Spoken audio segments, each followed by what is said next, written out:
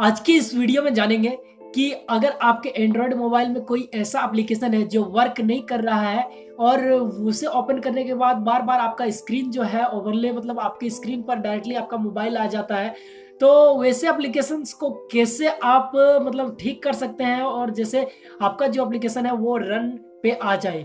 तो हेलो दोस्तों, मेरा नाम सरोज प्रजापति है और मेरे इस यूट्यूब चैनल में आप लोगों का स्वागत करता हूँ। तो फ्रेंड्स, आज इसी के बारे में चर्चा करेंगे कि कैसे कोई भी एंड्रॉइड एप्लीकेशन उसमें कहीं अगर कोई प्रॉब्लम होगी तो कैसे ठीक कर सकते हैं फिक्स कैसे कर सकते हैं उस एप्लीकेशन को। तो बने रहे मेरे इस वीडियो के अंत तक और अगर आपने मेरे इस चैनल को सब्सक्राइब नहीं किया तो सब्सक्राइब करके बेल आइकन को प्रेस कर लेना, क्योंकि मैं ऐसे टैक्स से रिलेटेड टिप्स से रिलेटेड वीडियोस को बनाता रहता हूँ के लिए। तो चलिए वीडियो को स्टार्ट करते हैं और देख लेते हैं सीख लेते हैं कि एप्लीकेशन को कैसे रन किया जाता है।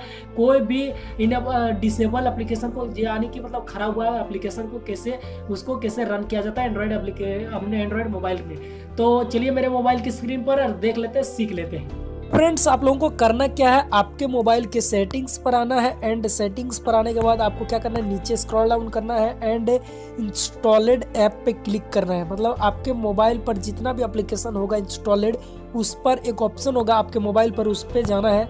एंड जाने के बाद देखिए, जो भी एप्लीकेशन रन नहीं कर रहा है मतलब दिक्कत हो रही है एप्लीकेशन में ओपन नहीं हो रहा है सही तरीके से, या फिर उस एप्लीकेशन में कोई दिक्कत हुई होगी तो क्या करना है? उस एप्लीकेशन को चॉइस कर लेना। मान लीजिए मैं ले लेता हूँ सिंपली से मतलब कोई भी ब्राउज़र मान लीजिए मैं ले लेता हूँ अपना ब्राउज़र तो इसको, इस टाइप का इंटरफेस खुल जाएगा। इसको जैसे क्लिक करते हैं इस पर एंड क्लिक करने के बाद देखिए यहाँ पर सबसे नीचे यहाँ पर तीन को ऑप्शन नज़र आएगा, तीन को तो force stop uninstall data clear data तो क्लियर डाटा पे क्लिक कर देना है क्लियर ऑल डाटा पे क्लिक कर देना है एंड ओके कर देना है। देन अब आपको क्या करना है ऑटो स्टार्ट पे क्लिक कर देना है।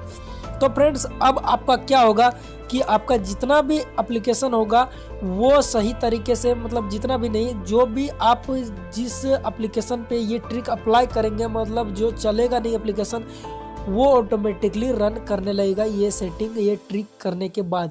तो फ्रेंड्स यही थी कुछ जानकारी। अगर आप लोगों को अच्छी लगी होगी, चैनल को सब्सक्राइब कर लेना और साथ ही बेल आइकन को भी प्रेस कर लेना, क्योंकि मैं ऐसे टैक्स रिलेटेड टिप्स से रिलेटेड वीडियोस को बनाता रहता हूँ आपके लिए। तो मिलते अगले नेक्स्ट वीडियो में, तब तक के लिए जय हिंद, वंदे मातरम।